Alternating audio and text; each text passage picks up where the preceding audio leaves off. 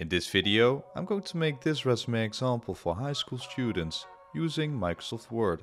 It's a simple yet professional setup that encourages hiring managers to read through. Now, if you prefer to save some time and want to download matching resumes and cover letter templates, then click on the link in the description for more information. Now I will also provide you with tips on how to put your skills and experiences on the resume to make it better than 9 out of 10 other resumes, based on solid research. Now without further ado, let's start making this resume. First we want to change the margins. Go to the Layout tab, Margins, and pick the normal or narrow margin settings. Now I would advise you to pick the narrow settings for some extra space to avoid cropped sentences and keep everything on a one-page document. Okay, next up we go to the Insert tab, Shapes, and pick a rectangular shape. Cover the header area.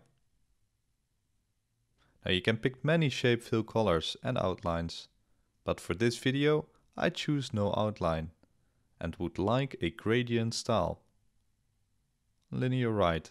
Double click the shape, open the fill menu and remove the stop icon. Click it first and then select the minus. Now pick two suitable colors for each side.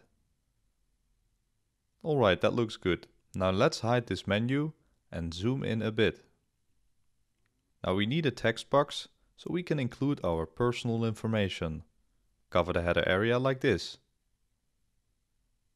And after that we remove the shape filler and outline. Now we need a white text to improve the readability of the header area. After that, you first need to enter your name and surname. Go to the Home tab to center it and increase the font size to let's say 24.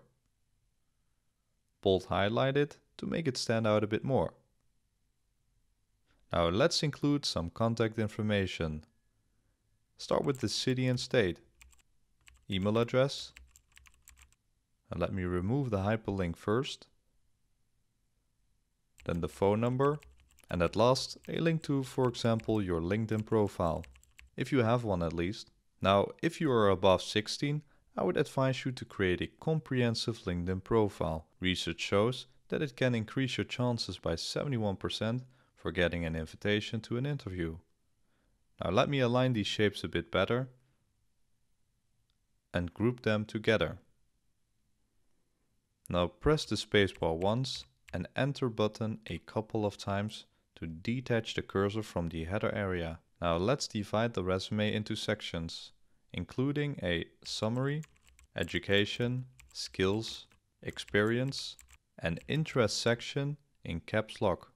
Now the sequence of these sections highly depends on the position you are after and your professional experience and educational background. Remember, always put the best of above the fold.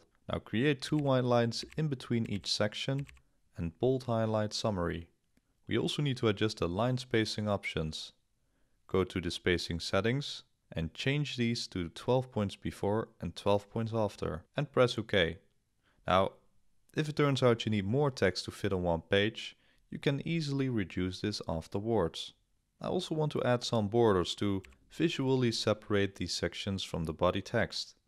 Now click on this little arrow icon and pick top and bottom borders in the drop-down menu. Furthermore, pick in between the 13 to 16 point font size. Now I think that 40 looks fine. And then we center the title as well. Next up, we need to place the cursor in the middle of the keyword and click the format painter twice. Now select the other sections to paste the formatting. Alright, and then we need to make sure to disable the formatting option. Alright, now let's start with the summary. Now, I would advise you to include this section to inform the reader and direct their attention. So inform the reader about who you are, what grade you're currently in, what you are looking for, and of course, your availability. Now that way, you immediately provide them with important information and therefore prove your ability to communicate effectively. Okay, next up we can start adding the educational background. So the school's name, city, state, and the expected graduation date. Now to align some of the information to the right side, we need a ruler. Now, if you don't see this option, you need to go to the View tab and enable Ruler. Okay, let me show you what this option does. So if you place the cursor right here, click somewhere in the ruler to place a left tab stop and press tab. Now I want to properly align it, so I simply drag it accordingly. Okay, after that we need to add some subcategories and list information on, for example, GPA, relevant courses and extracurricular activities. Now if you have some important certifications that relate to the position you are after, then you can add them in this section. Or perhaps the skills section. Now in the skills section, we want to properly list some of our most important soft and hard skills. Go to the Insert tab, click on the Table drop-down menu and pick a 3 by 1 table. Now as you can see, the margins are not perfect, but we can change that. Go to the table layout, cell margins and change the left and right windows to 0. Now there you go. Now before I add some soft and hard skills, research shows that applicants matched only 51% of the relevant keywords and skills on their resumes. Now in order to know what kind of keywords you should be looking at, I would advise you to copy the job description. Go to the free word cloud generator and paste it right in there and then click on generate cloud. Now once you've added all the keywords, I like to first align these cells and after that remove the borders. Now in order to do so, select the whole table and go to Table Design. Click the table drop down and select No Borders. Okay, so next up we have the experience section. So let's say you have some experience as a stock clerk at a shopping center.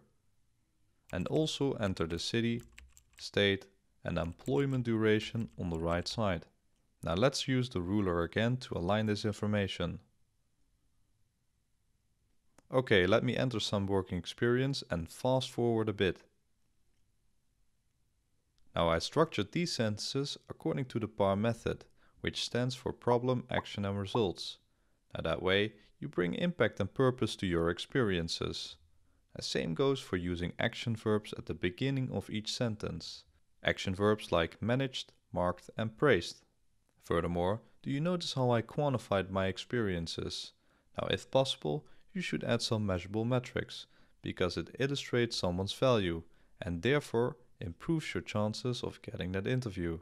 Okay, let me add another paragraph real fast. Okay, after that we move to the interest section. Now although this section is not a requirement, I would advise you to include it in your resume because it takes just a couple of words to show the human side behind the resume.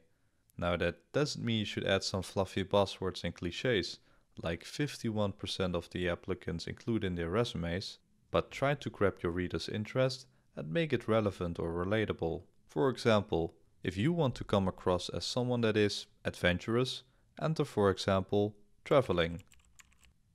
And also inform the reader about your travel ambitions. Or perhaps you like doing football and add for example your favorite team and player. Or what about watching Netflix? Include some of your favorite series and write something along the lines of binged watched Breaking Bad and Better Call Saul.